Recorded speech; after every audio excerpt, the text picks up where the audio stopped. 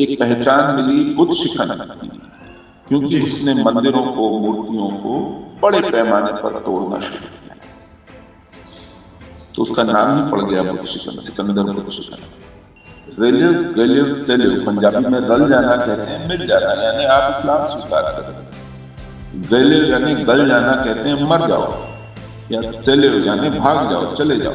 जो काम औरंगज़ेब अपनी पूरे जीवन काल में नहीं कर पाया, वो इन्होंने 1990 में कर दिया। नारे थे ए काफिरो ए जालिमो, कश्मीर हमारा छोड़ दो, ला गरबिया, ला शर्किया इस्लामिया इस्लामिया। लेकिन जम्मू कश्मीर के संविधान में मूलभूत अधिकारों की कोई अवधारणा ही नहीं।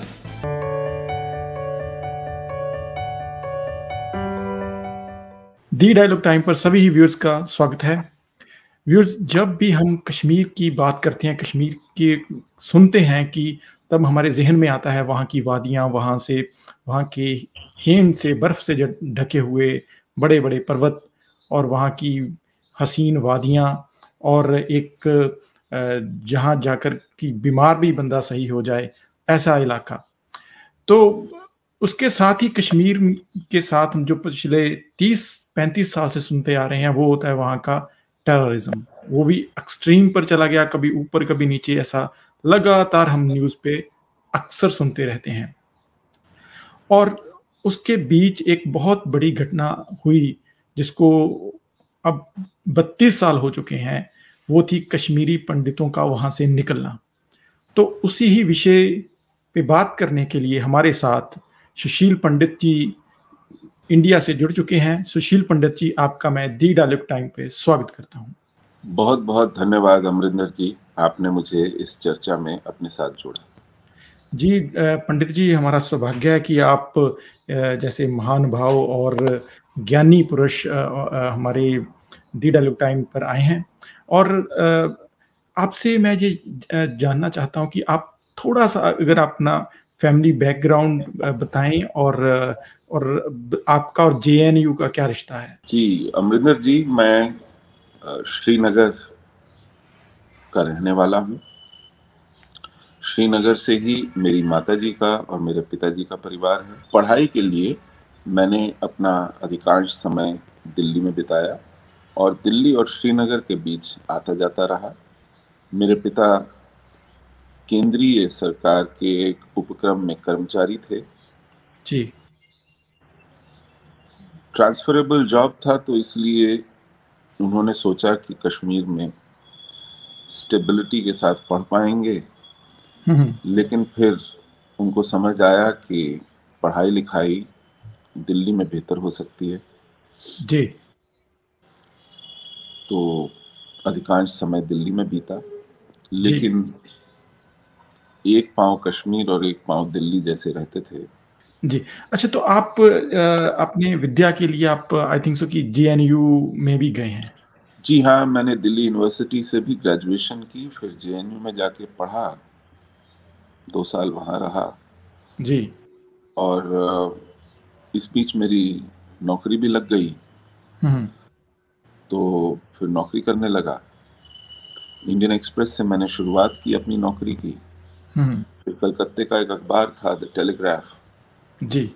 उसमें चार पाँच साल काम किया। उसके बाद अपना आ, करियर थोड़ा बदला। आ, एक मल्टीनेशनल थी ओगिलवियन मेथर उसमें काम किया फिर दूसरी मल्टीनेशनल थी मैकान रिक्सन फिर तीसरी थी जे वॉल्टर थॉमसन ये इंटरनेशनल ग्रुप थे कम्युनिकेशन में काम करते थे। जी।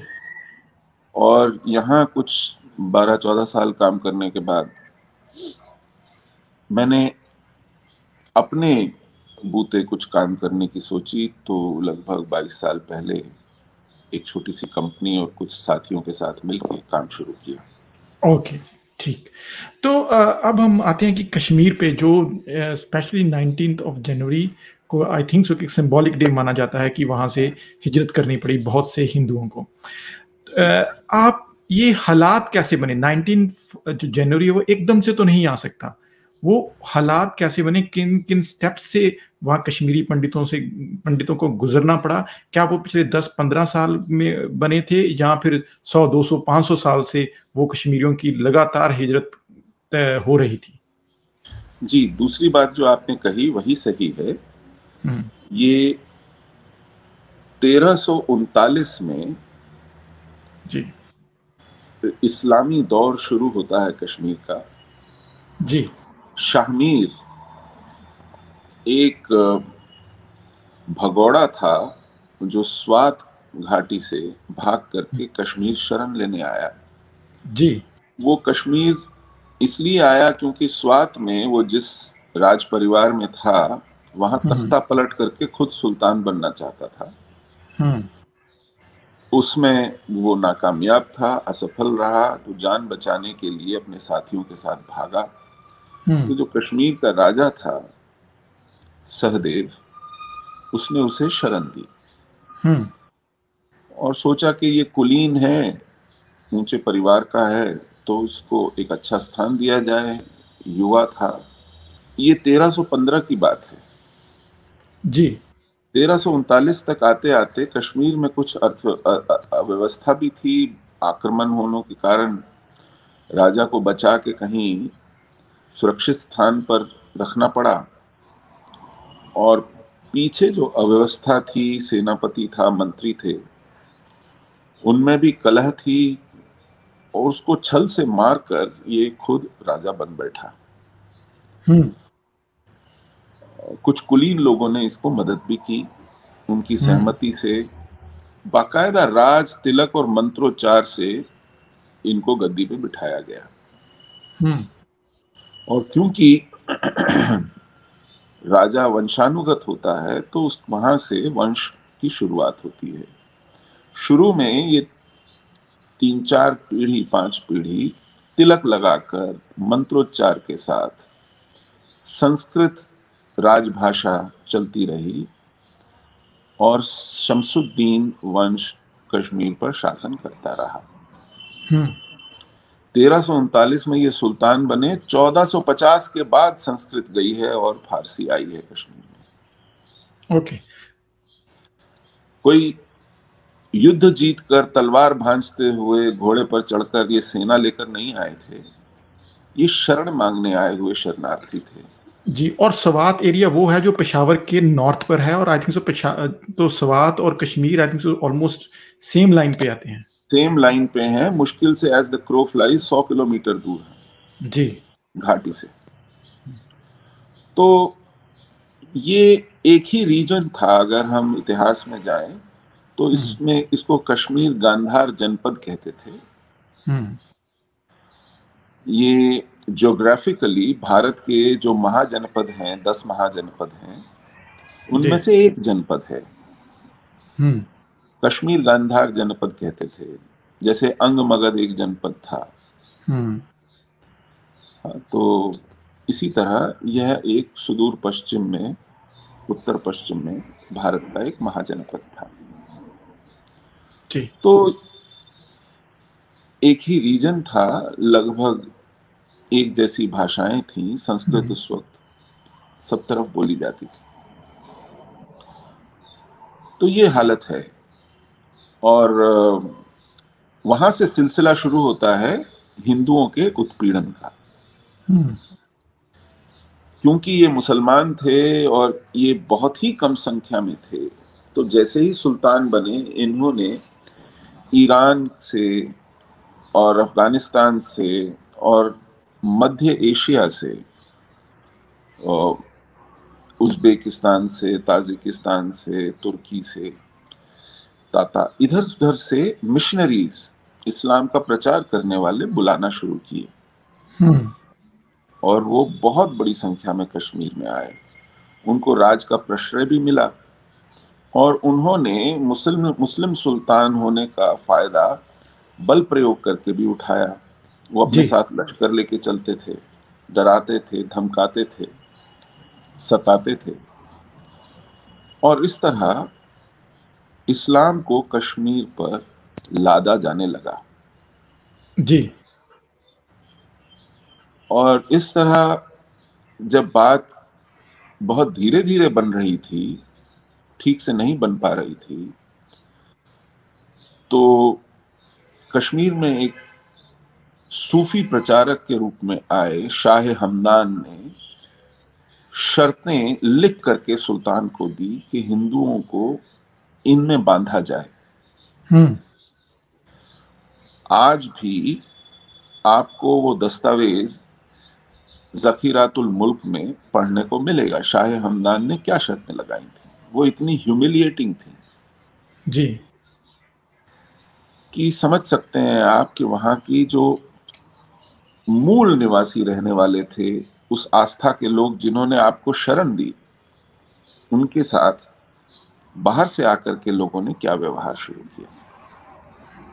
उनके मंदिरों को तोड़ा गया और शर्त ये थी कि वो उनको फिर से नहीं बनाएँगे, उनको रिपेयर नहीं करेंगे, नया मंदिर नहीं बनाएँगे। अपने देवी देवताओं को छुपा के रखेंगे, उनके चित्र या उनकी मूर्ति दिखने नहीं देंगे किसी को। उसका प्रदर्शन नहीं होगा। जी। अगर परिवार में ही कोई बेटा, बेटी, भाई धर्मांतरण करके इस्लाम स्वीकार करना, करने वाला है तो आप उसको बात करके मनाएँगे भी नहीं, समझाएँगे भी नहीं। मृत्यु दंड जैसी दंड के प्रावधान थे। आपका कोई संबंधी मार दिया जाता है तो आप उस पर विलाप नहीं करेंगे, विरोध नहीं करेंगे। हथियार लेकर नहीं चलेंगे। घोड़े पर नहीं बैठेंगे। अगर अंगूठी पहनी है तो उसमें नग नहीं जड़ा होना चाहिए। अगर कोई मुस्लिम यात्री आता है तो आप उसे तीन दिन तक अपने घर में शरण देंगे, मुफ़्त, कम से कम तीन दिन। अगर दो मुसलमान बात कर रहे हो तो आप वहाँ से हट जाएँगे। मतलब ऐसी अपमानजनक शर्तें। वो डॉक्यूमेंट अवेलेबल है अभी? जी उस मैं आपको डॉक्यूमेंट का नाम बता रहा हूँ उसका नाम है जखीरातुल मुल्क और उसमें शाह हमदान की शर्तें हैं। जो उसने सुल्तान को कहा था कि ऐसे नहीं मानेंगे हिंदू यहाँ। हम्म। और पहला पलायन ठीक उसके आठ दस साल बाद वहाँ पर एक सुल्तान आया उसका नाम था सिकंदर।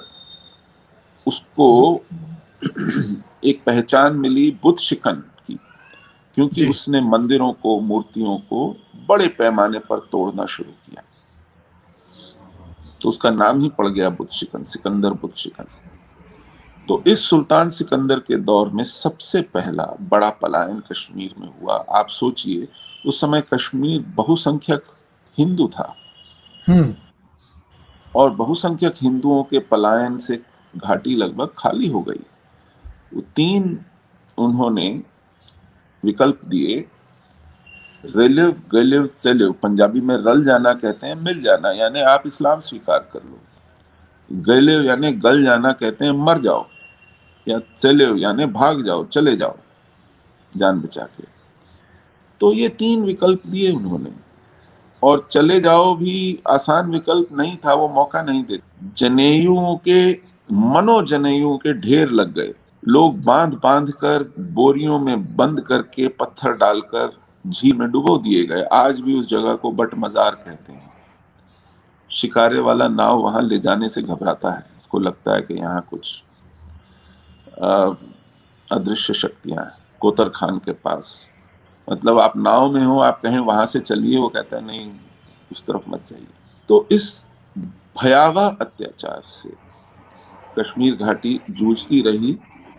तेरह में पहला सुल्तान आया तो जब तक महाराजा रंजीत सिंह ने 1819 में मुक्ति नहीं दिलाई तब तक चार दौर आ चुके थे। शुरू में सुल्तानों का दौर था जो 222 साल चला।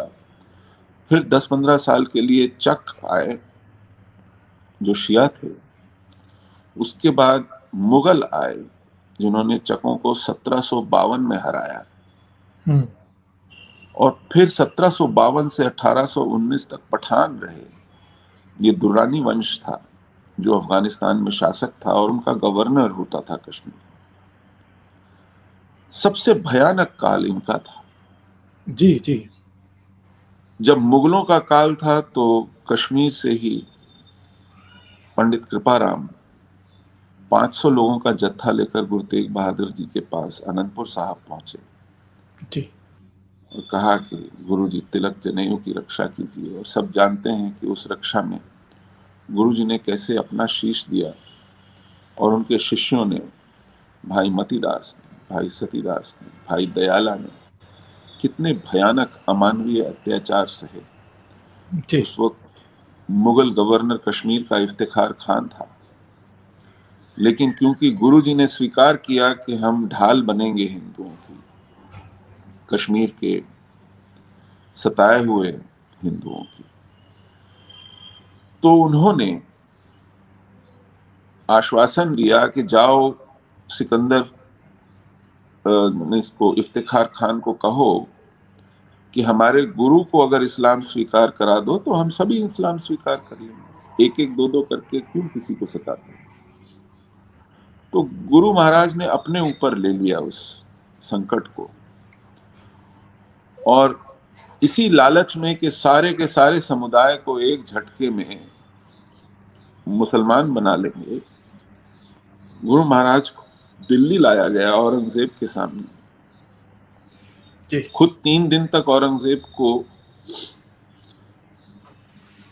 लाल किले में गुरु महाराज से चर्चा करके उनको मनाने में लगे कि आप मान जाइए और गुरु महाराज उनको हिंदुओं का, भारत का अध्यात्म बता रहे थे। तो उनको लगा कि ये नहीं मानेंगे और खुद भी इस मामले में दृढ़ हैं, लेकिन अपने शिष्यों को कैसे तड़पता देखेंगे? तो उनके सामने उनके शिष्यों को जो अमानवीय अत्याचारों से गुजरना पड़ा भाई मतीदास, भाई सतीदास, भाई दयाला, आरे से चीरे गए, तेल भिगोई रुई को सरकंडों में बाँध कर को ज़िंदा जलाया गया। उबलती हुई देग में भाई दयाला को बिठाया गया। गुरु महाराज समाधि में रहे और फिर गुरु महाराज का शीश लिया गया। ये सब इतिहास में दर्ज है।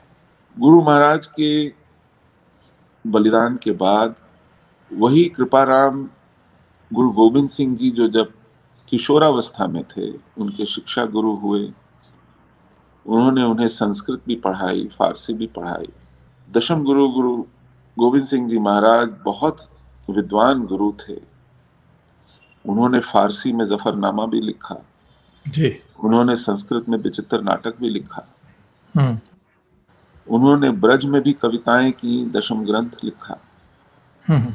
यही कृपा राम जी जो उनके शिक्षा गुरु थे बाद में जब गुरु महाराज ने खालसा सजाए तो कृपा सिंह हुए। और चमकौर के युद्ध में वीरगति को प्राप्त हुए। तो मैं अपने सिख मित्रों को कई बार कहता हूँ कि जो आपका स्वरूप है जी। इसका कारण हम कश्मीरी हिंदू ही हैं, जिनके बलिदान, जिनके लिए गुरु तेग बहादुर जी ने बलिदान दिया और उस बलिदान से प्रेरित होकर गुरु गोविंद सिंह जी को लगा कि अब सिर्फ़ अध्यात्म से काम नहीं होगा। अब हमें मुगल सेना से इस्लामी अत्याचार से लोहा लेना पड़ेगा और उन्होंने खालसा सजाए युद्ध के लिए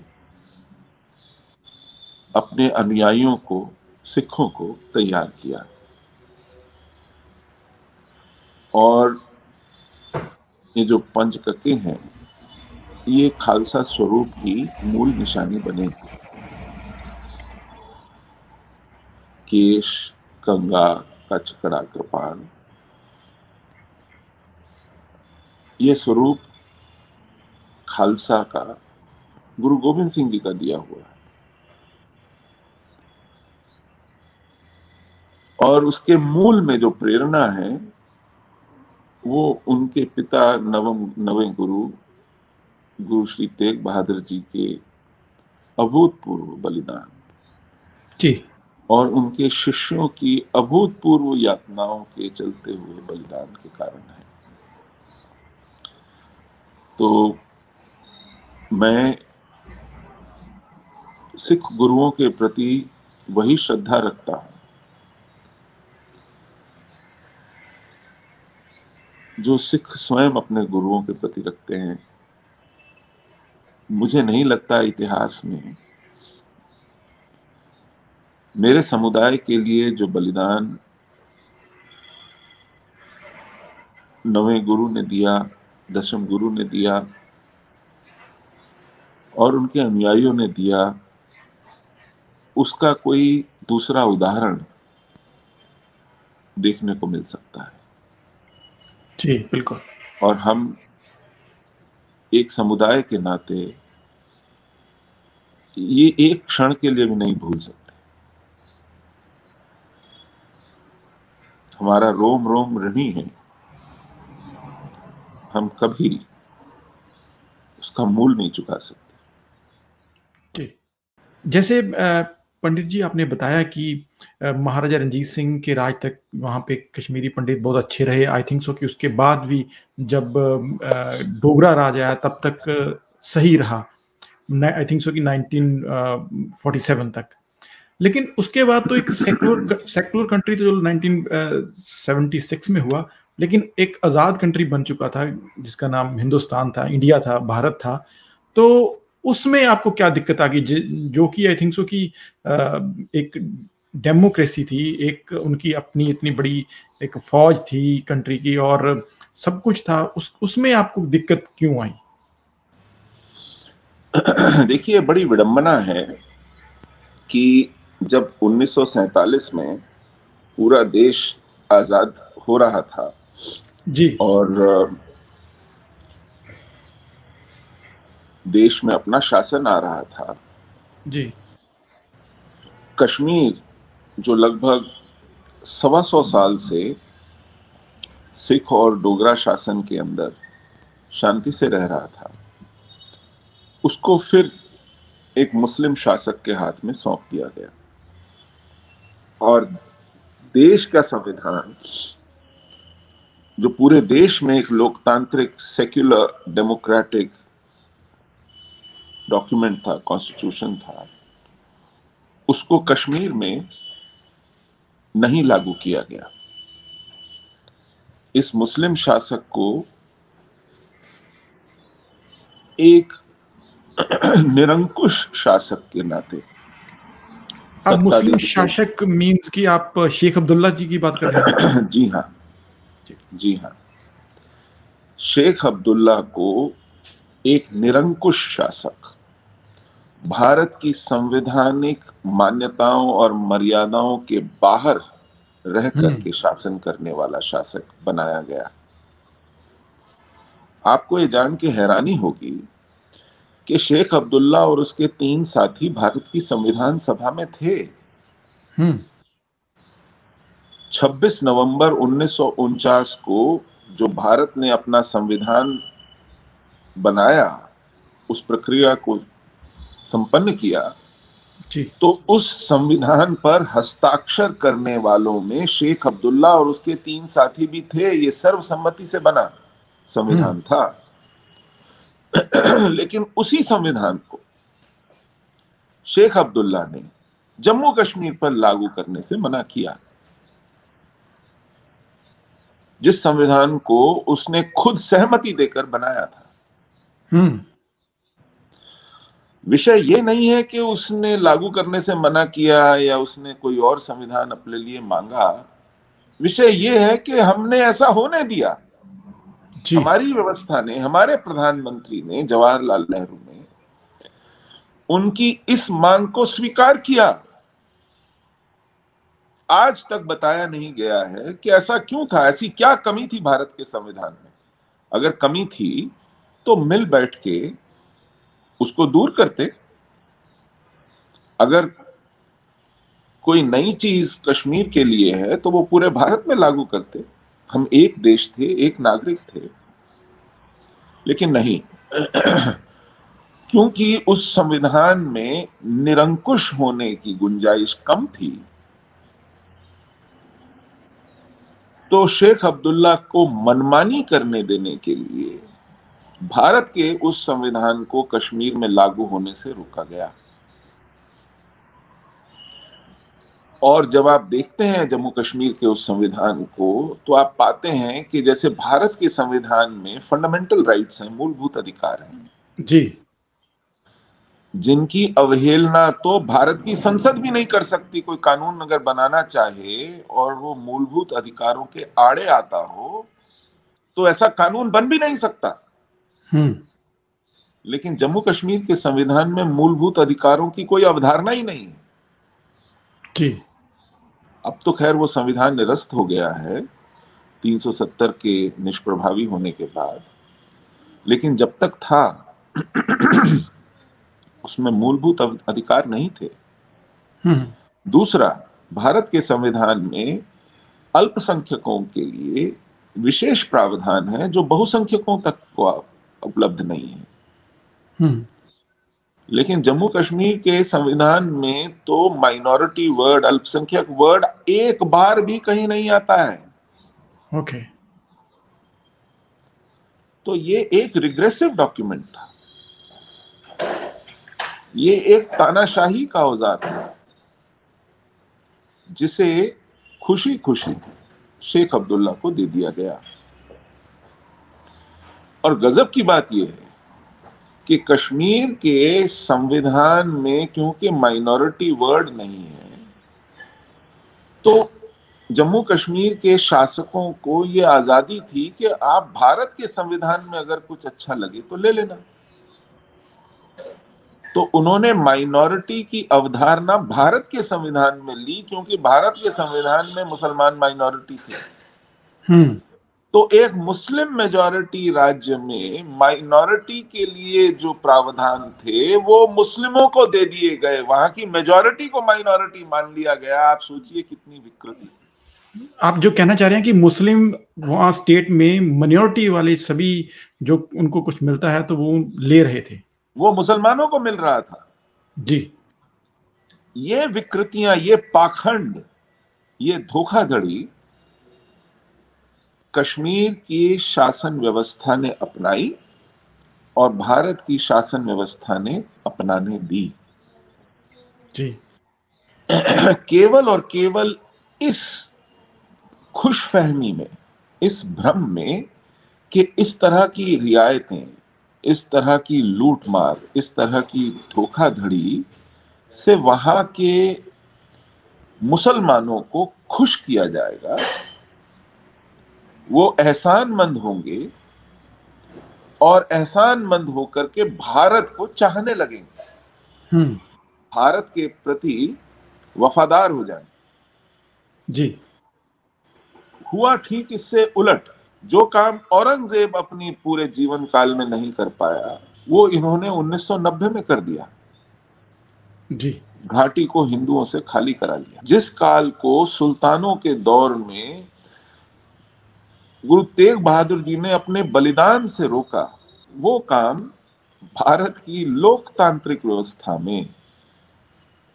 सर्वोच्च न्यायालय, उच्च न्यायालय और जिला कोर्ट्स और सेशन कोर्ट्स के होते हुए, आज़ाद मीडिया के होते हुए, चुनी हुई संसद के होते हुए, एक ताकतवर प्रधानमंत्री के होते हुए, पंद्रह लाख की फौज के होते हुए। इस युग में इस देश की व्यवस्था में होने दिया। हम्म। यही सब बहाने होते थे तब। मध्य युग में जब अत्याचार होते थे अगर गुरु गोविंद सिंह जी ने खालसा सजाए अत्याचारों के विरुद्ध तो इसीलिए सजाए कि हमारे पास अपनी सेना नहीं थी। जी। हमारे पास अपनी अदालतें नहीं थी। हमारे पास कोई संविधान नहीं था जिसकी शरण में जाते। हमारे छोटे छोटे राज्यों में बटा हुआ देश था। एकता नहीं थी। लेकिन इस बार तो ऐसा कुछ नहीं था ना। ये सारे बहाने तो काम नहीं करते। हम्म। बिल्कुल। लेकिन ये भी किसी काम नहीं आए। ये देखिए कितनी बड़ी विडंबना है। जी। तो परिस्थितियाँ ऐसी रहीं ऐसी बनाई गईं। आपने बिल्कुल ठीक कहा ये रातों रात नहीं हुआ। हम लोग इन 600 सालों में कटते कटते घटते घटते मुश्किल से चार पाँच प्रतिशत की जनसंख्या रह गई थी घाटी में। मुझे नहीं मालूम आपने एक आक्रांता और आतताई बहुमत के समाज में रह करके कोई अनुभव ऐसा लिया हो जिसमें आपको सुबह शाम हर रोज अपमान और भेदभाव सहना पड़े, हिंसा सहनी पड़े। कश्मीर में हम लोग रह रहे थे, लेकिन रह कम रहे थे, सह ज़्यादा रहे थे। और दिल में एक भ्रम था कि ये 90 करोड़ का देश 1990 में भारत की जनसंख्या लगभग 90 करोड़ थी कि ये 90 करोड़ का देश 15 लाख की फौज वाला देश हम चाहे संख्या में कितने ही कम क्यों ना हो, हमारी तरफ़ अगर कोई टेढ़ी आँख करके भी देखेगा तो उसकी फिर खैर नहीं है और जब तक तिरंगा लहरा रहा है कश्मीर के सचिवालय पर। और भारत की फौज बदामी बाग छावनी में बैठी है, कोई हिम्मत नहीं कर पाएगा हमें छेड़ने की। ये सब एक बहुत बड़ा भ्रम साबित हुआ। फारूक अब्दुल्ला मुख्यमंत्री थे, मुफ्ती मोहम्मद सैयद गृह मंत्री थे। जनरल जकी नॉर्दर्न कमांडर थे आर्मी के। जी। सेनाएँ बैठी रह गईं। पुलिस और अर्धसैनिक बल तैनात नहीं किए गए। प्रशासन गायब हो गया। मानो आँख नीच कर खुली छूट दे दी कि जो करना है करो। और हम लोगों को जो पहना था जो जेब में था जी। गठरी बांधने की भी फुर्सत नहीं मिली। और अपनी बहन बेटियों को बचाने के लिए बूढ़े माँ बाप और छोटे बच्चों के लिए हम लोगों को निकल करके आना पड़ा उन्नीस में। तो उस वक्त तब भी वहाँ पे कोई ऐलान हो रहे थे कि एकदम आपको मैसेज मिला कि हमें जाना पड़ेगा कि जनवरी में कि वहाँ पे एक कम्युनिटी की तरफ़ से भी आपको टारगेट किया गया? बिल्कुल। जैसा कि मैंने कहा कि ये महीनों तक एक दौर चला। अब जैसे पहला बम धमाका 1988 में ही लगभग जुलाई के महीने में हुआ जब आ, नहीं अगस्त सितंबर में शायद हुआ। पोस्ट एंड टेलीग्राफ ऑफ़िस है कश्मीर में के एम डी बस अड्डे के पास में है।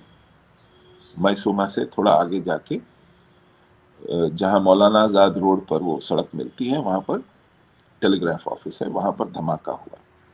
कुछ दिनों बाद डीआईजी वटाली के घर पर फायरिंग हो गई। रात का कर्फ्यू लग गया।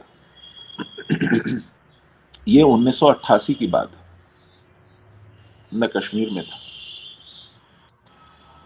मेरे होते होते रात का कर्फ्यू लगा। हमें शाम होते होते फटाफट घर पहुँचना पड़ता और उन्नीस में 89 तेरह सितंबर को हमारे समुदाय के एक प्रमुख नेता जाने माने एडवोकेट थे और बीजेपी के स्टेट के वाइस प्रेसिडेंट थे चुनाव लड़ते थे वो। उनका नाम था पंडित टीकालाल टपलू। उन्हें हम्म। सरेआम गोली मार दी गई। पंडित नीलकंठ गंजू थे हाई कोर्ट के रिटायर्ड जज थे। लेट सेवेंटीज में सरेआम हरि सिंह हाई स्ट्रीट जो कि श्रीनगर जो राजधानी है, उसके दिल की तरह है। वहाँ उन्हें गोली मार दी गई।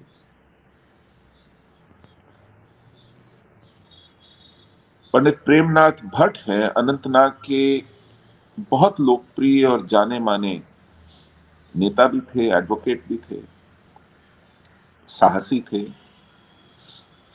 उन्हें रास्ते चलते गोली मार दी गई। तो हमारे समुदाय के जो जाने माने लोग थे जिनसे हम प्रेरणा लेते थे जिन पर गर्व करते थे उनको निशाने पर लिया गया ताकि पूरे समुदाय में आतंक फैलाया जा सके। ये फारूक अब्दुल्ला की नेतृत्व की सरकार थी जो नेशनल कॉन्फ्रेंस और कांग्रेस के गठबंधन से चल रही थी। इसी बीच चुनाव हो गए देश में।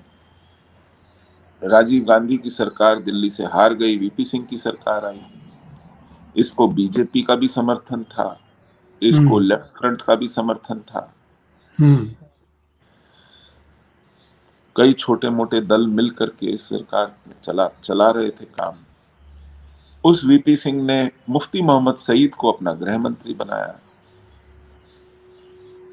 दो या चार दिसंबर को इस सरकार ने शपथ ग्रहण की और आठ दिसंबर को नाटक हो गया मुफ्ती मोहम्मद सईद की छोटी बेटी रुबिया सईद का अपहरण का नाटक। और उस नाटक के चलते हफ़्ते भर में इन्होंने छह खूंखार आतंकवादी छोड़ दिए। इससे जो पूरा जिहाद का एक दौर चल रहा था, शुरुआती दौर, उसको जैसे स्टेरॉइड शॉट मिल गया, उसको पंख लग गए। ये मैसेज चला गया कि इस सरकार को झुकाया जा सकता है, इसको दबाया जा सकता है। और उसके बाद कत्ल गारत का एक ऐसा दौर शुरू हुआ कि सब कुछ खुल्लम खुल्ला होने लगा जो पहले छुपते छुपाते होता था। मस्जिदों में लाउड स्पीकर्स पर ऐलान किए जाने लगे, नारे लगने लगे। मजमे होने लगे, जलूस निकलने लगे हिटलिस्ट निकलने लगी, दीवारों पर, दरवाजों पर नोटिस चिपकाए जाने लगे। आम चलते लोगों को टारगेट किया जाने लगा। गजब तो तब हुआ जब 4 जनवरी 1990 को अखबार अलसफा के फ्रंट पेज पे एक नोटिस छपा कि काफिरों कश्मीर घाटी खाली कर दो वरना तुम्हारी खैर नहीं ये हिजबुल मुजाहिदीन के वो जो दो कलाशनों के बीच में कुरान रख के जो उनका एक एम्बलम है उसके साथ हम्म। यही नोटिस फिर 6 जनवरी को आफ्ताब नाम के अखबार में पहले पन्ने पर रिपीट भी हुआ हम्म। कोई कार्रवाई नहीं कोई पुलिस नहीं कोई थाना नहीं कोई एडमिनिस्ट्रेटिव एक्शन नहीं कोई कर्फ्यू नहीं कोई जामा तलाशी नहीं कोई चेक पॉइंट्स नहीं कुछ नहीं। मानो उन्हें खुली छूट मिल गई। और जब ये दहशत बढ़ते बढ़ते रात भर मस्जिद के लाउडस्पीकर से तकरीरें और नारे और टेप बजाए कैसे नारे? नारे थे ए काफिरो ए जालिमो, कश्मीर हमारा छोड़ दो। ला गरबिया, ला शर्किया, इस्लामिया इस्लामिया। रूस पे लर्जा तारी है, अब कश्मीर की बारी है। कश्मीरी में नारे लगते थे, ऐसे पन्नु पाकिस्तान बट अवरुस्त बटने उसान जिसका मतलब है कि हमें चाहिए पाकिस्तान। हिंदू मर्दों के बिना, लेकिन उनकी महिलाओं के साथ। तो ये ये दौर शुरू हुआ। हिंदू कश्मीर में किसी एक जगह कंसंट्रेट होकर के नहीं रहते थे। हम लोग छितरे हुए थे। एक किसी मोहल्ले में एक घर, दो घर, किसी गाँव में तीन घर, चार घर। हम पूरे कश्मीर में, हर कस्बे में, हर मोहल्ले में, हर गाँव में थे। और हमारे रहते हुए, क्योंकि हम जानते थे कौन क्या कर रहा है, कौन कैसे रह रहा है हम भाषा भी जानते थे, इलाका भी जानते थे जहनीत भी जानते थे।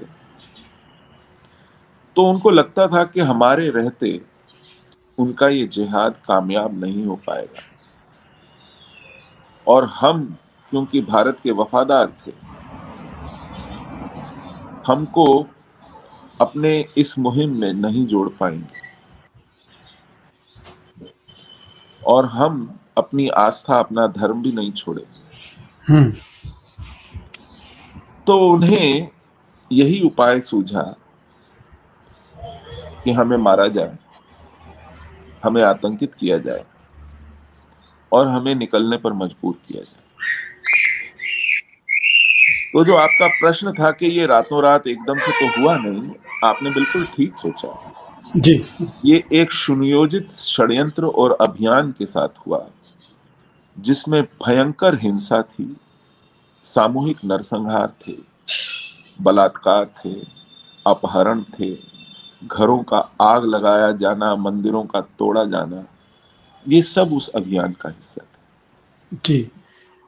तो इसी के साथ ही एक, एक गिलानी साहब तो अक्सर कहते हैं कि ये तो जगमोहन की साजिश है और या फिर जो एक एक्स टेररिस्ट अब अब तो आई थिंक सो पता नहीं मेन स्ट्रीम में आ चुके हैं।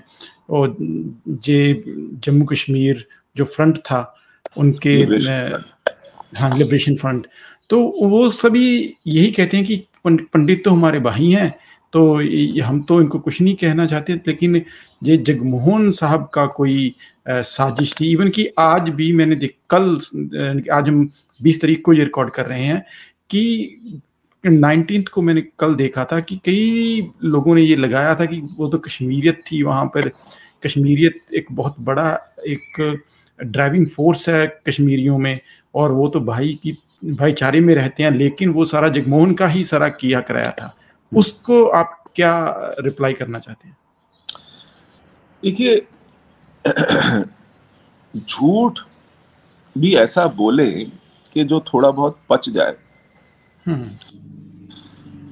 जगमोहन जी की तैनाती वहाँ हुई 18 जनवरी को एज गवर्नर मैंने आपको ये जितने हादसे बताए तेरह सितंबर उन्नीस को पंडित टीकालाल टपलू को मारा गया। हम्म। दो दिसंबर को नीलकंठ गंजू हाईकोर्ट जज को मारा गया। 28 दिसंबर को पंडित प्रेमनाथ भट्ट को अनंतनाग में मारा गया। ये बड़े बड़े नाम बता रहा हूँ मैं। मैं उन लोगों के ज़िक्र नहीं कर रहा हूँ जो आम नागरिक थे जो हम्म। मारे गए। ये बड़े नेतृत्व की बात कर रहा हूँ मैं। चार जनवरी को अलसफा में छपता है नोटिस छह जनवरी को आफ्ताब में छपता है। और अभी गवर्नर कहीं भी नहीं है। जगमोहन। अच्छा सर्दियों में जम्मू कश्मीर की राजधानी जम्मू होती है। जी बिल्कुल। तो 18 जनवरी को जब वो आए तो उन्होंने जम्मू में चार्ज लिया और दो दिन मौसम खराब था तो वो फ़्लाइट से श्रीनगर आ भी नहीं पाए। और इस बीच 19 जनवरी को जैसे बाँध टूट जाता है और पानी बह निकलता है इस तरह कश्मीर से हिंदुओं का पलायन हुआ। उन दिनों न तो मोबाइल फ़ोन थे ना ईमेल थी ना व्हाट्सएप ग्रुप थे। तो कैसे आपने लोगों तक समाचार भेजे होंगे? उन दिनों तो टेलीविज़न भी नहीं था ढंग का। जी। सैटेलाइट टेलीविज़न भी नहीं आया था। कोई नेटवर्क भी नहीं था। आप हम्म। बता दीजिए नेटवर्क पर कोई घोषणा हुई हो रेडियो से कोई घोषणा हुई हो अखबारों में कोई घोषणा हुई हो कुछ पर्चे फेंके गए हों टेलीफोन भी उपलब्ध नहीं थे ढंग से लैंडलाइंस तो कैसे इकट्ठा किया होगा लोगों को कैसे बताया होगा कि चलो निकलो और फिर लाखों लोगों के लिए क्या इंतज़ाम किया होगा हम्म, हम्म। लाखों लोगों को एक जगह से दूसरी जगह निकालने में अभी यमन से भारत ने नागरिकों को फंसे हुए नागरिकों को निकाला। फ्लाइट्स निकालनी पड़ती हैं। हम्म। है ना? फंसे हुए लोगों को निकालने के लिए कितना तामझाम लगता है और कितने हफ़्ते लगते हैं? हम्म। ये किसको मूर्ख बना रहे हैं? या अपनी मूर्खता का परिचय दे रहे हैं? मतलब लोगों को पागल या मूर्ख समझने की एक सीमा होती है। और हम्म। जब वो आप सीमा पार कर जाते हैं तो आप अपनी मूर्खता का परिचय देते हैं जी जी कि हम कुछ भी कह लेंगे और उसको विश्वास कर लिया जाएगा जी और, और इसके बाद जेकेएलएफ तो जगमोहन ने नहीं बनाई जम्मू कश्मीर हाँ। लिबरेशन फ्रंट हम्म। हिजबुल मुजाहिदीन तो जगमोहन ने नहीं बनाई हम्म। नीलकंठ गंजू जस्टिस को तो नहीं मारा जगमोहन ने किसने आतंकित किया? किसने निशाने पर लिया? किसने मंदिर तोड़े? किसने घर जलाए? किसने सामूहिक नरसंहार किए? किसने बलात्कार किए? उन्हीं के चलते तो ये पलायन हुआ। क्या आप किसी को घर बैठे सदियों से पीढ़ियों से जो घर में बैठा हो उसको कह सकते हैं कि चलो चलो जरा बाहर निकलो कुछ दिनों के लिए? नहीं। मुझे यहाँ के मुसलमानों को सीधा करना है। इनकी जो थ्योरी है वो ये है जगमोहन ने कहा भाई मैंने यहाँ पर बम्बार्डमेंट करनी है एरियल बम्बार्डमेंट तो वो प्रिसिशन के साथ तो हो नहीं सकती आप लोग भी मारे जाओगे। तो जरा चलो जब आप निकल जाओगे फिर मैं यहाँ घल्लू घारा करूँगा और उनको सबको खत्म कर दूँगा। इसलिए उसने हिंदुओं को बाहर निकाला। हम्म, एक बार ये मान भी जाए कि चलो ऐसा शायद कहा होगा। तो उसके बाद वो घल्लू घारा हुआ क्यों नहीं भाई? हम्म, मारा क्यों नहीं किसी को? तो ये पागलपन की इंतहा है। पढ़े लिखे लोग भी जब ये रटा रटा पहाड़ा पढ़ते हैं और आज भी लगातार पढ़ते चले आ रहे हैं जी। इससे साफ़ ज़ाहिर होता है कि इन्हें अपने किए का मलाल भी नहीं है। ये आज भी उस पर लीपापोती करना चाहते हैं।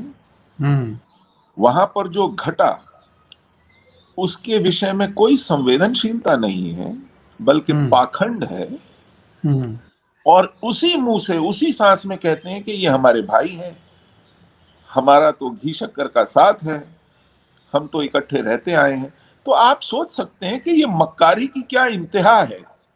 हम्म, कि दिल में क्या है और ज़ुबान पर क्या है? जी तो जी। कौन कौन भरोसा करेगा? जी।